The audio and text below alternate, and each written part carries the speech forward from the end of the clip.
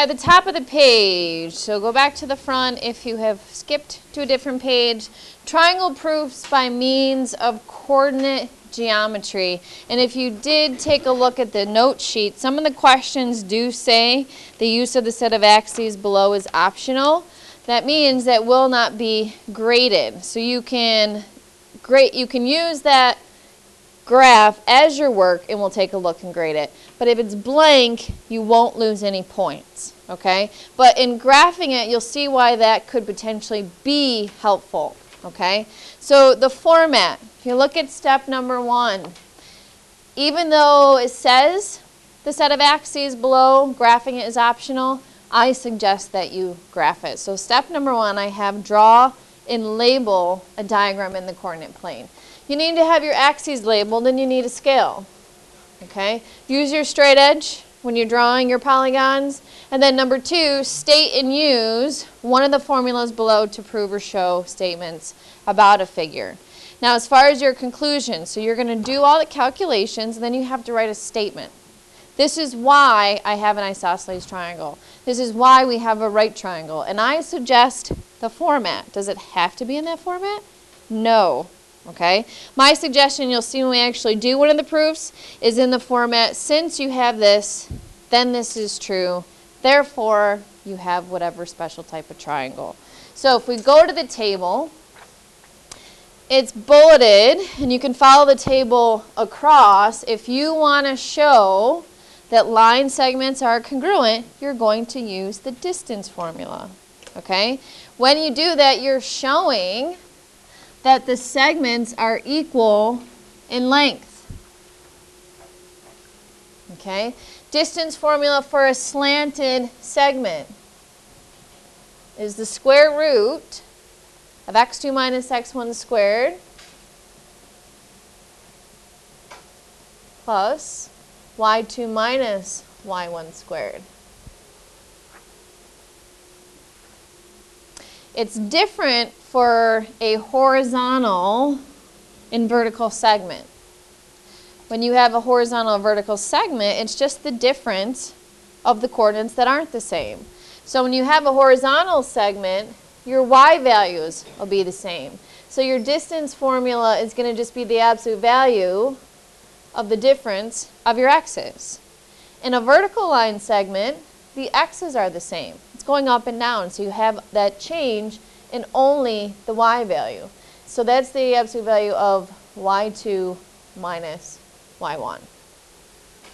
So to show that segments are equal in length, we use distance.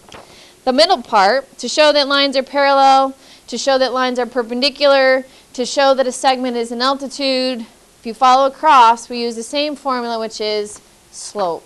The slope formula is y2 minus y1 over x2 minus x1. Change of y over change of x. Now, if the lines are parallel, we want to show that the slopes are equal. So I'm just going to use, again, m for slope. The subscripts 1 and 2 are just referring to line segment 1, line segment 2. So I want to show that the slopes are the same. For perpendicular, I want to show that the slopes are negative reciprocals. Or you can show that the product m1 times m2 is negative 1. And last formula that you could potentially need is the midpoint. You only need the midpoint formula when you have to draw a median because a median goes from a vertex to the midpoint of the opposite side.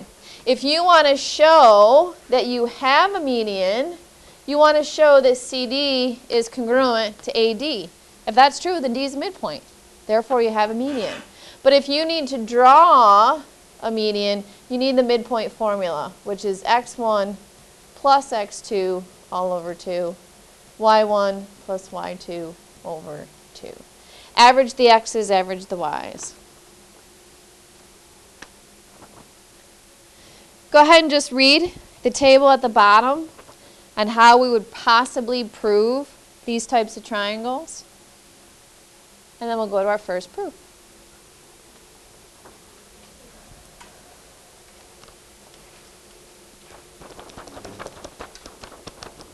I just want to highlight in each case um, by definition, say equilateral triangle. In an equilateral triangle, they have three congruent sides by definition, so you have to find the lengths of all three sides to show they are the same. For a right triangle, you can show that Pythagorean theorem works, or you can show that you have a right angle. Either one. Okay? So the first example, I believe, yes, it's already graphed for us. So we're going to show by means of coordinate geometry that it is isosceles. So, Maggie, what formula are we going to use? First thing we want to do is state the formula. If I want to show that I have an isosceles triangle, by definition, an isosceles triangle has at least two congruent sides. To show congruency, what formula do we need? Distance. So we're going to write down the formula.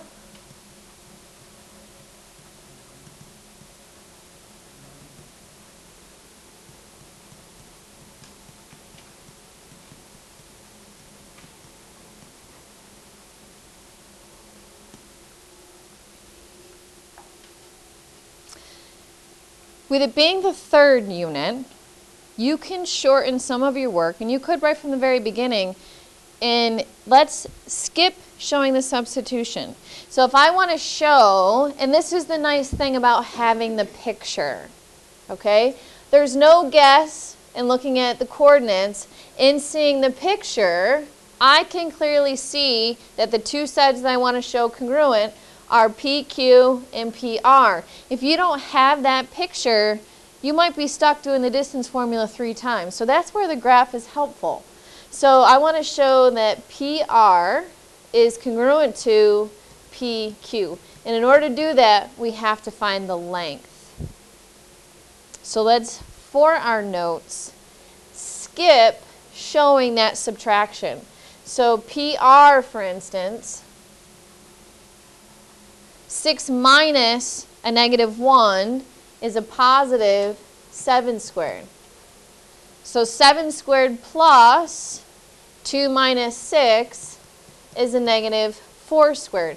You can also check your calculations quickly in your graph.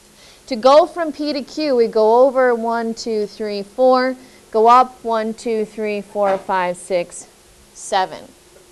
Bless you. Bless you.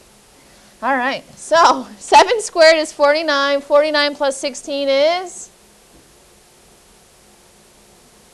65. So when I do the other length, I should also get 65. So looking at PQ now, x2 minus x1, 3 minus a negative 1 is 4, so we end up with 4 squared plus negative 1 minus 6 is negative 7 squared. And that is also square root of 65. So we're done with the math. Now it's just writing up our statement. Every proof needs to have a final statement. And this is how I suggest writing it, but you don't have to. You have to talk about what you just did. We use the distance formula, so I'm going to say since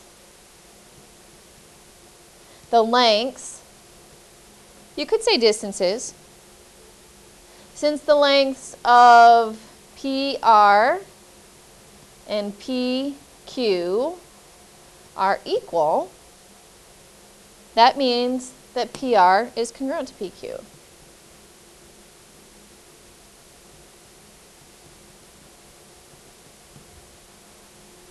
So I used the distance formula to show that the lengths were equal. By definition, an isosceles triangle has at least two congruent sides. So now I'm done. And your therefore statement comes right from the problem. So therefore, using the symbol, triangle PQR is an isosceles triangle.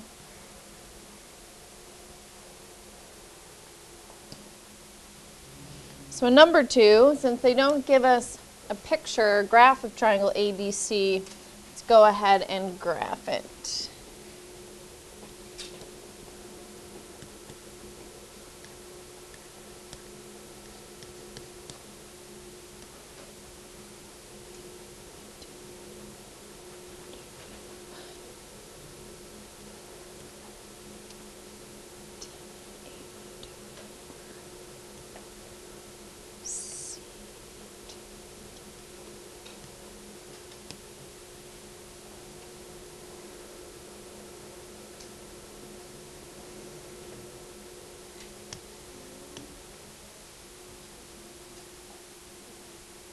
By definition, uh, a right triangle has one right angle, so I need to use that definition to help me prove that it is a right triangle.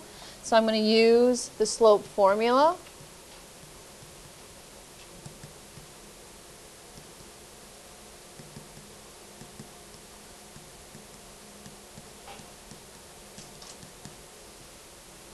Now I always put slope equals m because in my work I said, well, in looking at this triangle, Ryan, can you see maybe where you think the right angle would be? That'll help us determine what two sides I need to find the slope of. So in just looking at the picture, do you think the right angle is at A or B? C looks like it's definitely out. You gonna say A? So if I want to, again, right now this is a question. If I'm checking to see if the right angle is at A, I'm going to look at the slopes of AB and AC. So for those two sides, again, I use M to indicate that I'm doing slope. I would show your x2 minus x1 over y2 minus y1 here. I know we didn't in the distance formula, but in looking at your work, I could potentially get you some partial credit in knowing which difference you did wrong. If you didn't show work here and went right to the answer, there's no partial credit to be given within your slope formula.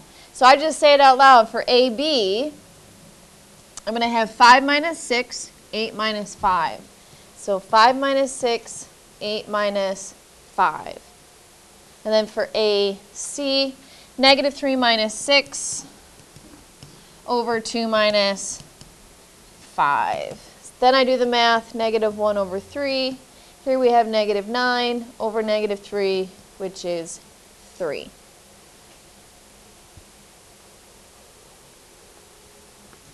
So since the slopes came out to be negative reciprocals, I know that AB is perpendicular to AC, and that's what I want to write. So since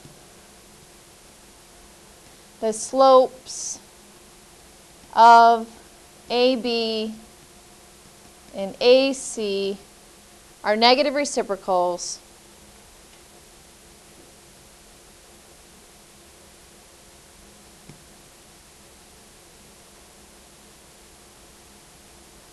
Then AB is perpendicular to AC. Now, the definition of a right triangle doesn't talk about two sides being perpendicular. The definition of a right triangle is simply that a right triangle contains one right angle. So in stating that, that tells me where the right angle is. So I have to state which angle is the right angle. So if angle A is perpendicular to AC, so I just add with angle A, a right angle.